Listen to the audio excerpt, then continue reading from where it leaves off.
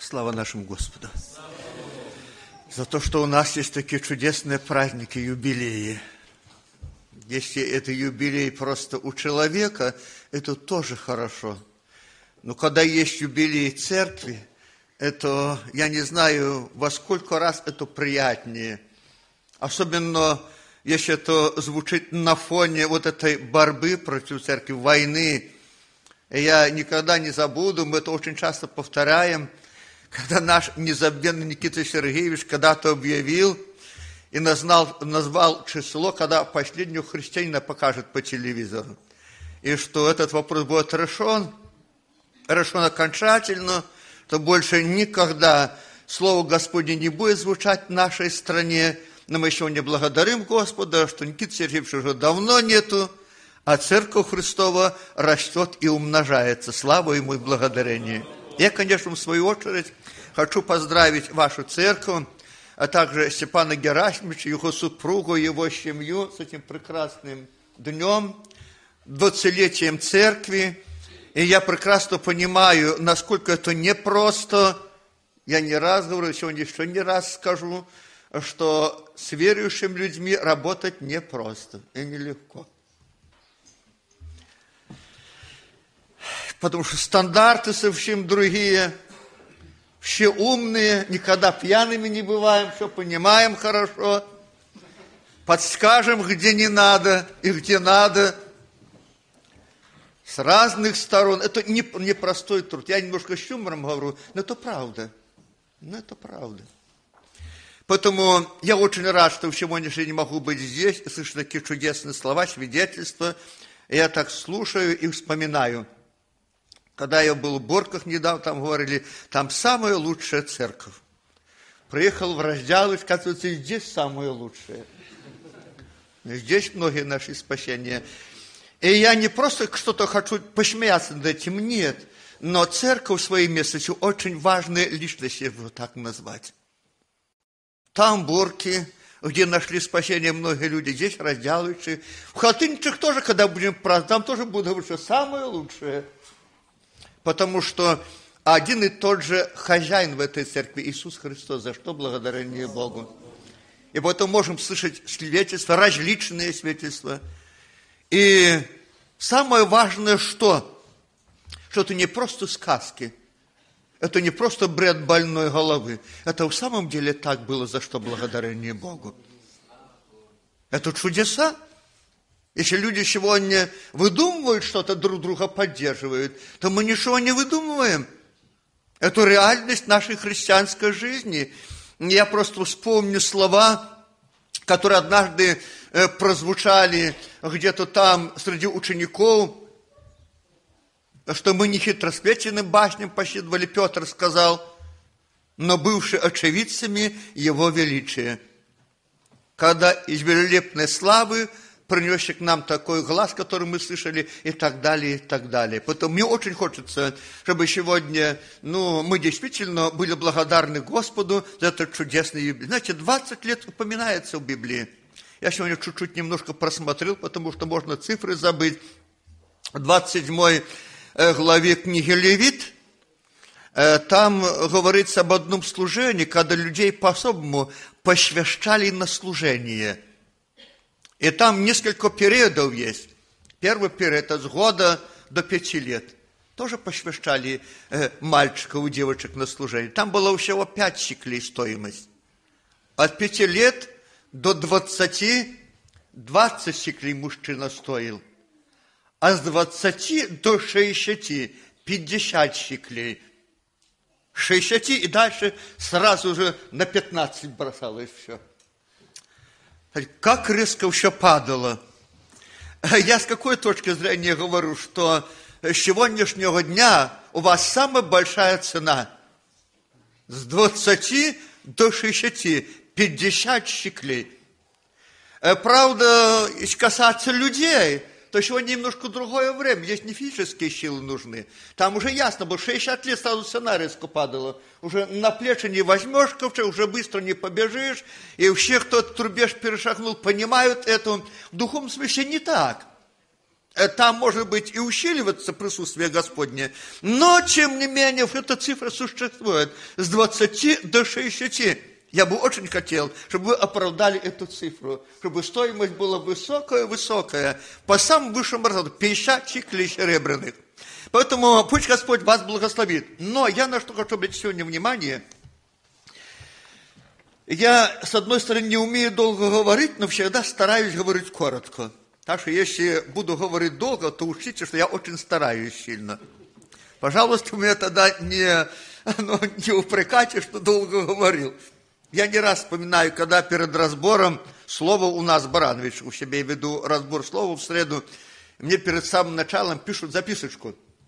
Брат Николай, ты, пожалуйста, говори помедленнее. Там пришла помедленнее говорить. Ну, хорошо. И я так стараюсь эти два часа. И мне в конце пишут записочку. Брат Николай, пожалуйста, ну, говори помедленнее. А я думаю, а что ж я делал все это время? Я ж так старался говорить помедленнее, но оказалось, не получалось. Поэтому я постараюсь коротким быть, потому что все-таки время уже прошло. Читаю одно место Писания.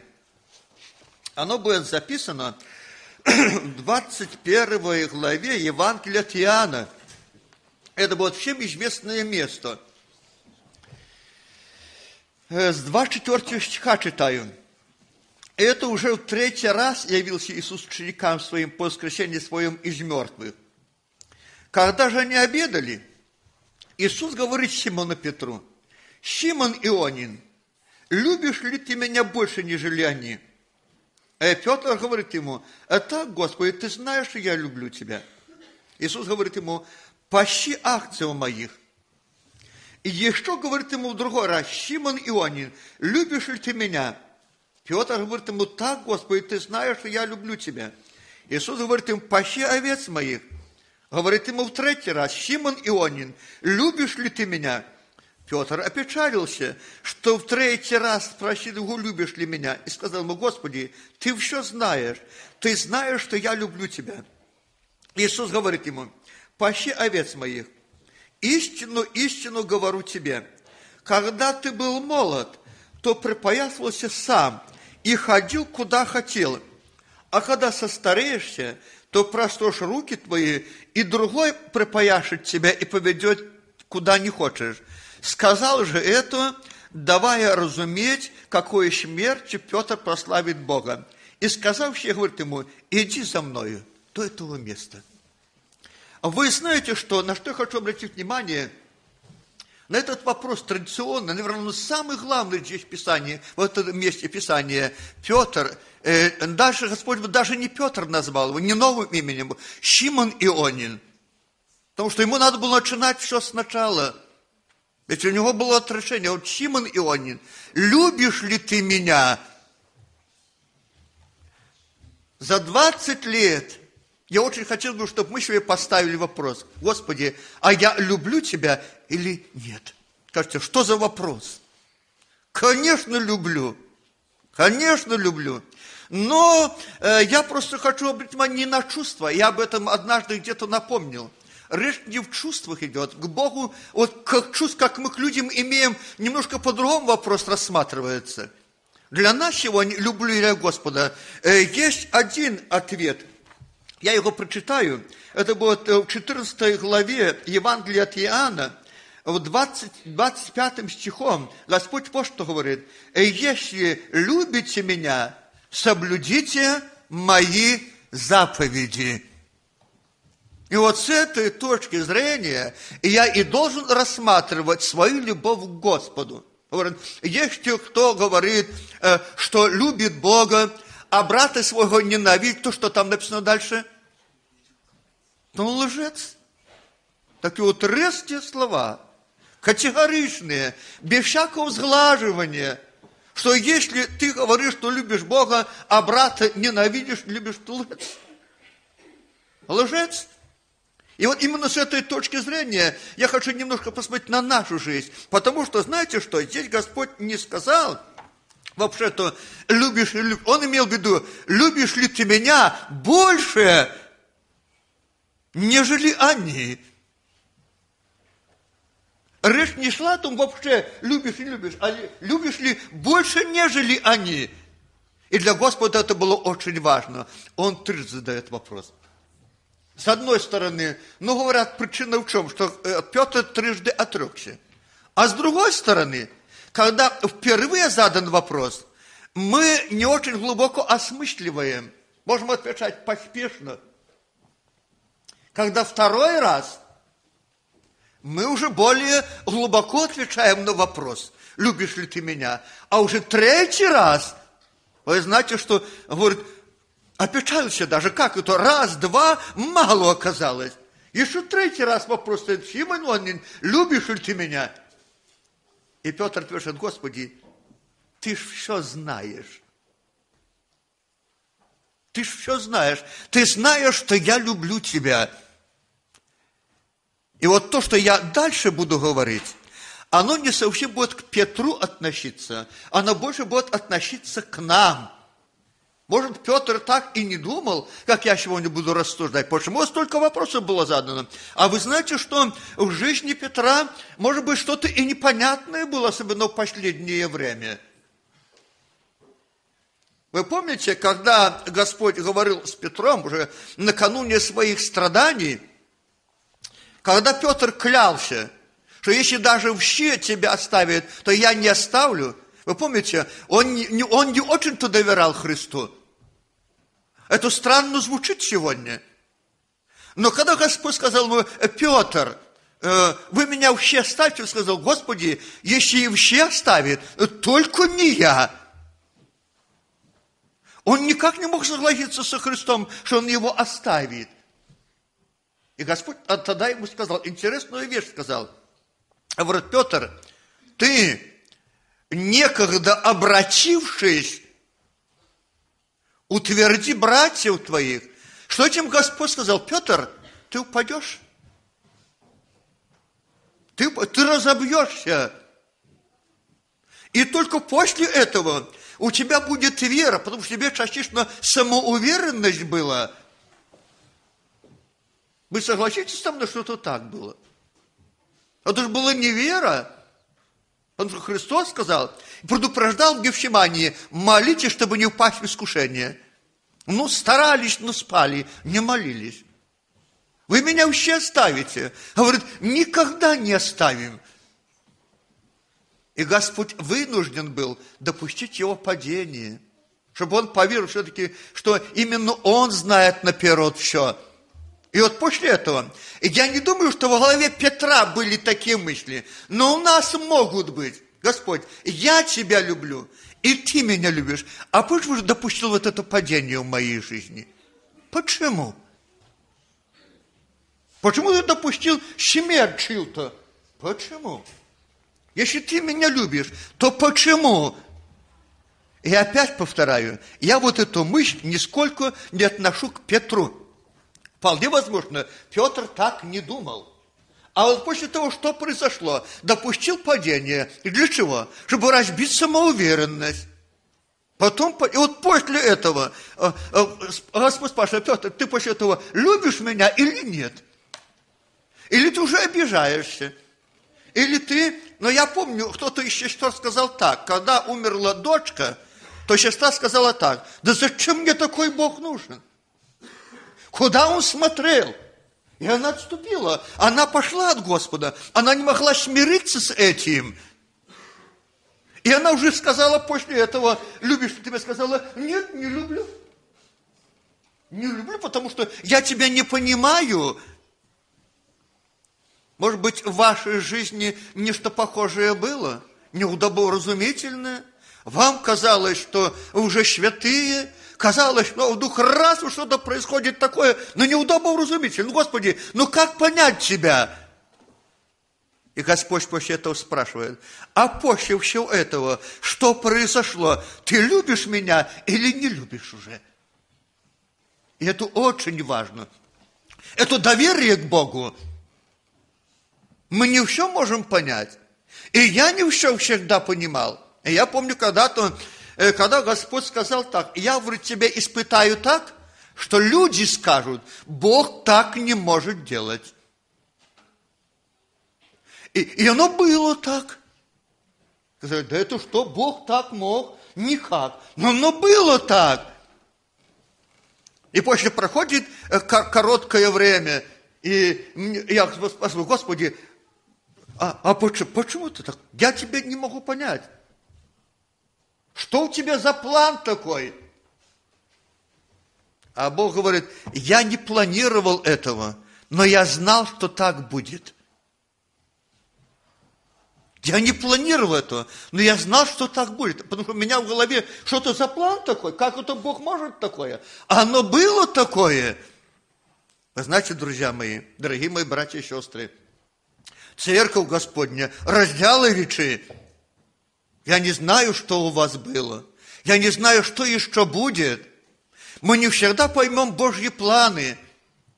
Но мне очень хотелось бы, чтобы пройдет ли время долгое, или какие-то бури пройдут над нами, или будет что-то непонятное, и, может быть, Господь, восстанавливая нас, пошлет тебе скажет, слушай, а после этого ты любишь меня или нет? И я должен сказать, Господи, люблю. Потому что я понимаю, что я не все понимаю. Я не могу уместить вот это все. Не могу понять, почему ты так делаешь. А, а ведь а, действительно можно обидеться. Да ты видел, что я паду, ты не мог предупредить. А он сразу сказал, падешь. И ты некогда, обратившись, утверди братьев твоих. Друзья мои, я очень хочу, чтобы сегодня мы, когда будем молиться, мы за все поблагодарили Господа. За все за все. Если бы мы могли быть послушными э, только в результате наставления Господня, чтобы не надо было к нам крутые меры принимать, наверное, Бог их и не принимал бы. Но коль мы не всегда просто можем воспринять все так, как надо, принимая другие меры. Помните 49, кажется, 49 псалом. «Вразумлю тебя, наставлю на путь, по которому тебе идти, но, но не будь как конь, как лошак несмысленный, который челюсти нужно обуздывать, чтобы они покорялись тебе. Есть такое написано, я не выдумал. Есть, так написано. Надо обуздывать. А обуздывать, знаете что? Вы вообще люди из деревни пошли. Знаете, что такое обуздать коня? Это железки сюда. И чуть что, и больно, уже он идет, хочет, не хочет, но идет. Но уж его, так сказать, говорят, закелзали по-белорусски, еще я еще помню немножко. А говорят, цугли в зубы, и все, и уже рулит тогда. Поэтому я просто обращаю сегодня на это внимание. И вот один из главных вопросов, на который Господь хотел получить ответ. Симон Ионин, после всего вот этого, любишь ли ты меня больше, нежели они? Если любишь больше, то пощи овец моих а потом второй раз, а потом третий раз. И в конце как, какой финал? Тебя возьмут ангелы и на крыльях понесут, и ты так кончишь, как Иов. В старости доброе, да нет, вот возьмут тебя за руки и поведут тебя, и пойдешь куда не хочешь. Для нас, людей, это не очень-то приятный финал. Мы хотели бы, говорю, скончаться в своем гнезде. Но когда человек отдать свою жизнь за Господа. Когда жизнь отдает, это самая высокая жертва, это самое высокое служение. Почему иногда мы не один раз читаем, будь верен до смерти, и дам тебе вине жить до смерти. Не просто до смерти. Я повторюсь то, что я на разборе сказал. Иногда мы понимаем так до смерти, а если уже смерть, то тут можно выкрутиться – вы помните, в советское время какая-то такая песня была, «Смело мы бой пойдем за власть совета». Помните, как один умрем в борьбе за это. То верующие пели так, «Смело мы бой пойдем, и мы за вами». И как один умрем, тогда мы не с вами. Тогда мы не с вами. Вы знаете что? И кто-то однажды об одном из братьев говорил, я думаю, может быть, это и ошибка была, может быть, не такой был. Он говорит, вы с этим братом не особенно. Он вас до дверей тюрьмы доведет, а после оставит. А до самой тюрьмы до дверей будет идти, а в двери не пойдет. Поэтому э, Писание сегодня говорит нам, как церкви, а для церкви не будет таких э, легких времен. Оно все, все, все усложняется, все будет труднее и труднее. Но я знаю, если мы будем идти с Господом, то милость Господь никогда не оставит нас. И мне очень хотелось бы, чтобы сегодня Господь еще раз благословил нас. Когда мы будем молиться, могли сказать Господу, где мы любим, где не можем. Вот, Господь, мы такие, какие мы есть на сегодняшний день. Дай Твое благословение – для того, чтобы мы действительно могли еще что-то сделать для Господа. А вы знаете, самое ценное, что пащи овец моих. А это будет только тогда, когда больше будешь любить, чем они. Вот брат Степан больше будет любить церковь, чем церковь его будет пасти. Если не сумеет, трудно будет пасти. Не получится. Потому что не хватит силы, не хватит усилий, не хватит ревности и так далее, и так далее, и так далее.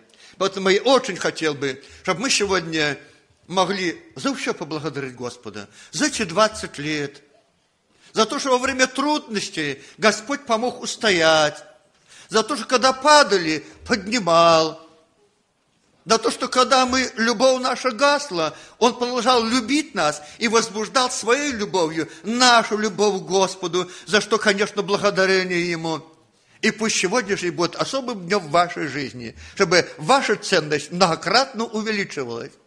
С этих 15, 20 до 50. И чтобы в вашей жизни вы увидели успех не только с неба. Я иногда слышу такое слово, когда Господь говорил, вот я спасу вашу семью. Да, ты уже не увидишь, но они будут спасены. А как хочется что на земле увидеть своих родных и близких спасенными, помолиться вместе с ними, псалмы попеть вместе с ними. Хочется, правда? Очень хочется.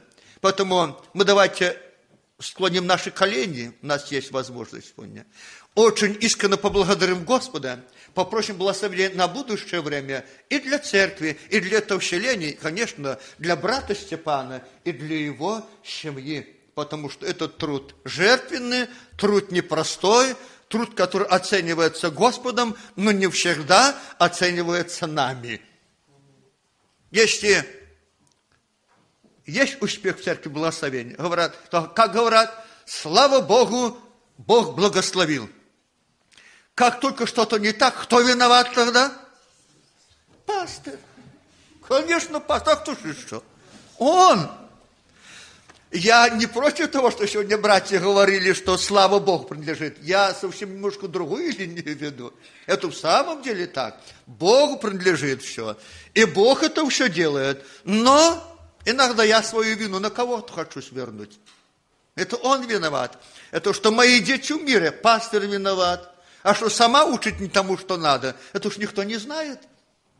Вот ты не доглядел, ты не сделал, ты не успел. Но я надеюсь, у радиат так и не было и не будет никогда. Это у других бывает. У вас все будет по высшему стандарту. Но я очень хотел бы, чтобы сегодня Господь благословил. Чтобы сегодня это благословение Божие, ну, окрылило вас. Чтобы руки не опустились. И чтобы в будущее время каждый из вас на своем месте исполнил волю Божию. И если это будет, это будет самое большое благословение, которое можно только ожидать. Клоняем колени, молимся, за все благодарим Господа. Отец, мы хотим сегодня от глубины сердца нашего поблагодарить Тебя за Сына Твоего Иисуса Христа, которого Ты отдал на этот великий жертвенник, построенный Тобою на земле, на горе Голгофе. И мы благодарны Тебе за то, что это чудесная вещь об этом великом спасении. Она, Господи, не, не заглохла, не остановилась, но достигла и раздела ведь. Сегодня здесь есть люди, для которых драгоценно Твое имя, э, которые говорят о силе Твоей крови, как в одном единственном могучем средстве исцеления и освобождения от греха. Мы, Господь, благодарим Тебя за то, что ты взошел на Голгофский крест и сам делаешь этим жертвенным акцием. Мы еще раз и еще раз благодарим Тебя за пролитую кровь, за смерть Твою, которую Ты вкусил полную меру, чтобы уничтожить наше беззаконие и преступление. Мы благодарим Тебя, дорогой Господь, что Ты воскрес для нашего оправдания, ибо мы были достойны отмщения, потому что Ты несправедливо, Господь, был осужден из-за наших грехов и преступлений. И люди, когда Господь выходит из тюрьмы, они очень часто мстят тем, э, через которых они попали туда. А Ты, Господь, вышел из этой темницы, Ты воскрес из мертвых для того, чтобы оправдывать нас, чтобы ходатайствовать за нас, чтобы защищать нас, за что мы славим и благодарим Тебя. Это не поддается, Господи, и нашему разуму. Это нестандартное человеческое мышление, оправдывать беззаконника. Но мы, Господь, благодарны Тебе, что это делал неоднократно. Мы благодарим Тебя за день нашего покаяния, который однажды Ты сотворил для нас, когда мы впервые просили у Тебя прощения, когда кровь Твоя омыла сердце наше, и мы почувствовали эту влившуюся новую жизнь, обновление нашего духа и тела для многих, Господь. Поэтому, Боже, благодарность Тебе но ты знаешь, что мы хотим любить Тебя, и еще, Господь, живя на этой земле, чтобы еще были спасены наши родные и близкие, чтобы спасены были наши друзья и соседи, чтобы еще многие люди, жители нашей планеты, могли обрести спасение по нашим молитвам, Господь, потому хочется,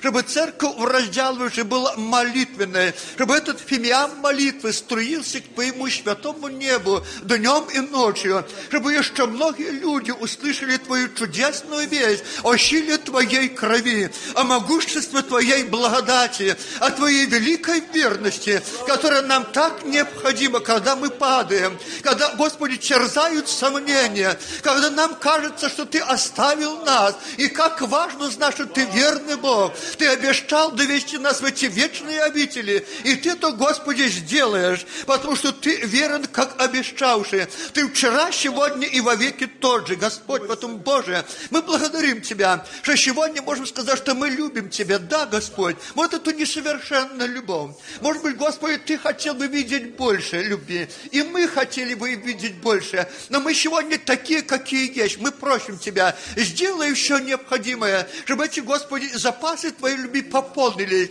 чтобы она, Господи, воспылала еще сильнее. А за те трудные времена, которые были в нашей жизни, если мы роптали, тогда прости. Но сегодня мы благодарим Тебя за все скорби и слезы, за болезни и трудности. Не за то, что нам болезни приятные, Господь, но за то, что в течение этого времени Ты шлифовал сердце наше, Ты твердыми ногами ставил нас на путь спасения, Ты останавливал нас и, может, даже подталкивал, если мы останавливались, Господь. Ты, Господь, делал все, чтобы наш молитвенный поток не истощался никогда. И это часто делали трудности, переживания, которые были в нашей жизни. Поэтому, Господь, дай нам Твою святую милость. И сегодня еще раз глубоко поблагодарить Тебя за все то, что казалось нам неприятным, за все те моменты, э, которые не хотели бы, чтобы были в нашей жизни. И, конечно, по-особенному хочется благодарить Тебя за исполнение Духом Святым,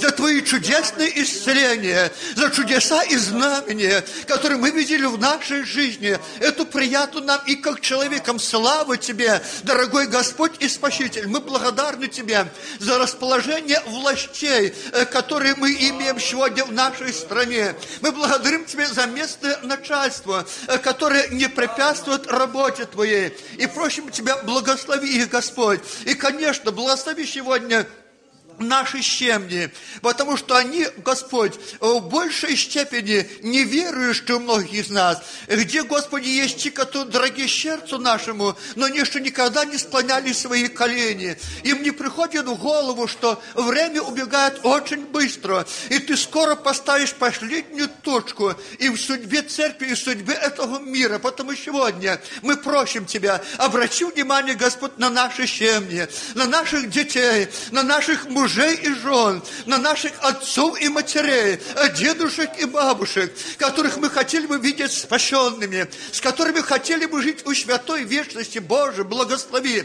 Благослови наших соседей, э, которые в своей сущности очень хорошие люди, но которые еще не имеют спасения. Ибо этой доброты человеческой очень мало для того, чтобы жить с тобой у святой вечности. Благослови их. Благослови наших друзей. Благослови жителей наших селений и окрестностей. И пусть, Господи, Твоя святая любовь покроет сердца наши. Э, пусть возгорится наша ревность. Пусть возобновится наша преданность и жертвенность, которые многие потеряли. И уже она не на том уровне, на котором было раньше, и на котором Ты ее хочешь видеть. И, конечно, Господь, Благослови брата Степана, благослови его семью, воздай Твоей святой милостью за этот труд. Хотя, Господь, э, Ты знаешь, что он непростой, и Ты знаешь, что нет у них той роскоши, нет того достатка, но Ты дай Твое благословение, потому что я сегодня слышал, что они не взяли ни копейки от церкви, чтобы не было соблазна, но с другой стороны, Господь, Ты дай членам церкви любовь чтобы они видели их нужные, чтобы они могли вникнуть их, помочь, поддержать, держать, чтобы, Господи, не было однобокая работа, чтобы Он ложил все свое здоровье для них, а они, чтобы не обращали внимания на то, как Он живет, чем живет, как, Господь, движется, Отец, поэтому благослови их взаимностью, дай им Твое благословение, дай им милость Твою, и пусть они в единстве Духа и в союзе мира продолжают шествие Твою святую вечность, чтобы ни один из членов церкви не отступил, а тех, которые отступили, тех, которые сегодня не ходят в собрания, которые пошли своими путями, дай им милость и возврати назад. Дай Твое благословение, пополни эту церковь э, своим народом, и пусть Твоя святая любовь еще многое делает в этом селении, в этой окрестности – и все-то, Господи, мы просим во имя Твое и для Твоей славы. Итак, благослови, дай нам ощутить Твое дыхание, возьми нас в Твои святые руки, поведи в дальнейший жизненный путь, и путь в жизни каждого из нас исполнится Твоя святая воля, благая, угодная и совершенная а за это служение, за Твою благодать, за слово жизни, за чудесное свидетельство, за прекрасное пение, за глубокие проповеди, прими от нас хвалу и благодарение, как вечный наш Господь, Отец, Сын и Дух Святой. Аминь. Наш, сущий на небесах, да святится имя Твое, да придет царствие Твое, да будет воля Твоя и на земле, как и на небе. Хлеб наш насущный подавай нам на каждый день, и прости нам долги наши, как и мы прощаем должникам нашим, и не уведи нас в искушение, но избав нас от лукавого, Ибо Твое есть царство, и сила, и слава во веки. Аминь.